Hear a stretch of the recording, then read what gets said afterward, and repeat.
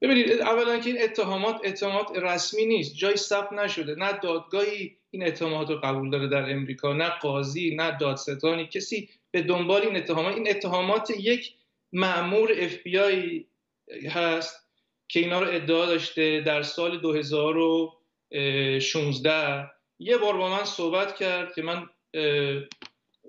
توضیح دادم.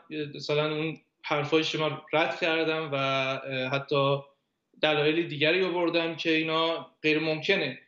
بعد از اون موقع من دیگه هیچ ارتباطی با این فرد نداشتم. یک بار دیگه با من تماس نگرفت. سال 2016 فبروری 2016 این آقا اومد یه سری از این اتهامات به من زده. دیگه کاری نکرده. خب شما می‌تونید خودتون بپرسید. پس ادله وجود نداره. طرف هیچ اقدام قانونی برای من نکرده. چون دلیلی برای این چیزا نیست. اصلا یه چیز مزهکه چطور میشه طرف بره ایران دستگیر بشه زندانی بشه حکم اعدام براش ببرن؟ این همه به من برخورد کنن تو ایران مامورین ایرانی. به دلیل اینکه من رفته بودم اونجا به بین آقایون اینفورمیشن بدم. اصلا این موسیقه آقای اوباما آقای بایدن آقای کری همشون خب اینا بهتر می‌دونن یا یعنی یه ماموره. اینا پنج سال علنی ادعا داشتن که آقا شما این امیر رفته یه ابزار سیاسی تبلیغاتی چیز طبیعی است. خیلی حتی الان هم ده 20 صد نفر هستن تو ایران گروگانن. به همین علی خانم نازنین ردکلیف که هموطن شماست. این چیز جدیدی نیست. خب ادله وجود نداره. اگر ادله وجود داره ما خودمون گفتیم آقا ادله برو برای به دادستان بگو پرونده ایجاد. برای من پرونده وجود نداره فقط یه اتهاماتی که خود مامور داره تو گزارشش نوشته و ولی هیچ دادستان هیچ قاضی هیچ کسی اینا رو دنبال نکرده. الان چرا این قضیه علنی شد؟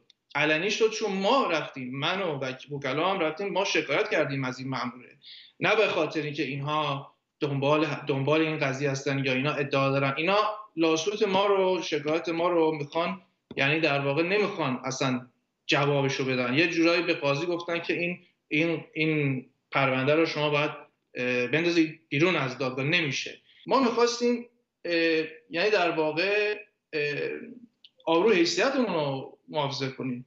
که ها شما دروغ گفتید اینم در یه دادگاه رسمی قاضی عدیله رو نگاه کرده و دیدید که بله شما محکوم شدن. آقای حکمتی در بخش دیگه از این مصاحبه درباره دوران زندانش در ایران و همچنین نحوه بازداشت و اعترافگیری از او گفت. اولین باری که من به, خاک ایران اولین باری که من دارم میام ایران اون موقع من اصلا فارسی بلد نبودم. بعد یه هوی بعد سه هفته با ما سه هفته خیلی بهترین وقت زندگیمو گذروندم تو سه هفته. ولی اولین بار من مادر بزرگ دایی همه خیلی فامیل خیلی هم تهران اصلا خیلی حال کرده خیلی قشنگ بود. بعد سه هفته یه هوی میان آقا ما از پاسپورت نمی‌دونم چی چی ما باتون کار داریم سوال داریم که ما رو بردن اوین. بعد یهو چشام باز می‌کنم می‌بینم با, با, با چشمند شما باز می‌کنم تو 240 انفرادی هستم. خب خیلی وحشتناک 28 سالم بوده. بعد خب بعد چندین ماه انفرادی هر چی ما میگیم آقا میگه نه خودت بگو تو جاسوسی تو جاسوسی اگر بگی جاسوسی آزادی اگر نگی میمونی. خب چیکار کنم؟ بعد یه ماه دو ماه سه ماه چهار ماه پنج ماه. بعد یه مثلا فشارهای روانی فشارهای فیزیکی درگیری که اتفاق افتاده نمی‌دونم شوکه حالا یه دوران سختی بود. نمی‌خوام خیلی وارد این جزئیات بشه ولی خب بدونم از, از من بشنوم خیلی روخ دقیق بگم که بله این اقرارها همه تحت فشار بود. من هرگز وارد ایران برای جاسوسی یا برای این حرفای بی ارزش نبوده و نبودم. رفتم به خانواده ببینم. همین.